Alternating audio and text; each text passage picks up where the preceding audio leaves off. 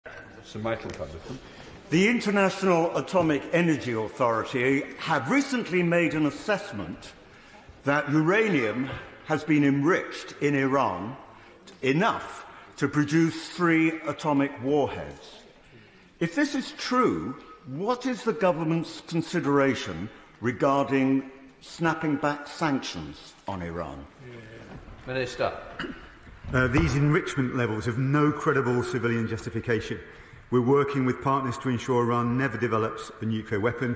We're prepared to use all diplomatic options, including triggering UN snapback if necessary, and we'll continue to monitor the situation very closely.